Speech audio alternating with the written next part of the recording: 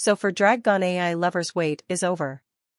Here you can see the DragGAN official code is released on the official DragGAN GitHub page. Today in this video, we will see how can you use this DragGAN AI tool on your computer.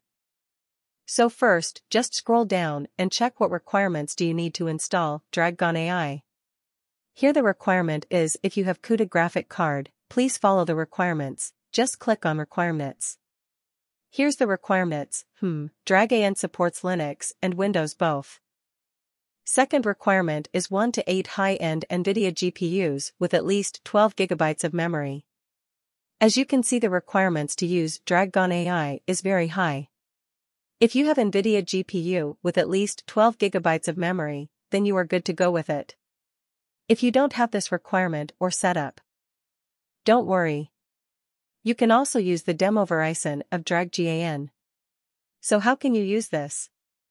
So go back to official DragGAN AI GitHub page. Now here you can see the Hugging Face DragGAN. Just click on it. So this is the official DragGAN AI demo page. Where you can explore the functionalities of DragGAN AI. Due to high demand right now it throwing some error. So you have to wait for some time and reload the page. As of now it's showing the runtime error as you can see. As you can see now it's working after reload the page you can see this interface. In the left side you can see the some settings you can apply in the images. As you can see here it's a demo version of DragGAN AI. So, due to high demand you can only use the one model at a time of this demo version. Here you will find the different pre-trained models. So, you can select any one of them. I am selecting this model. So how can you use this? You have to select two points on the image. Red point and blue point.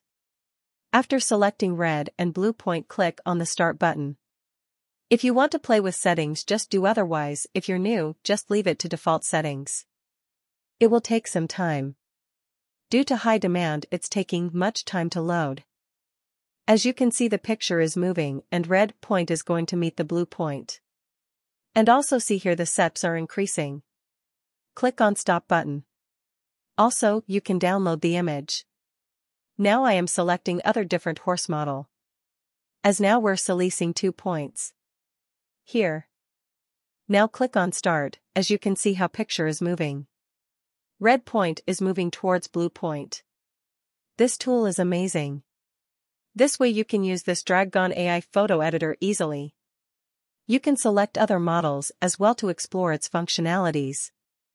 To get the latest update about other AI tools, please join our Telegram channel. To know more about DragGAN AI, check the description.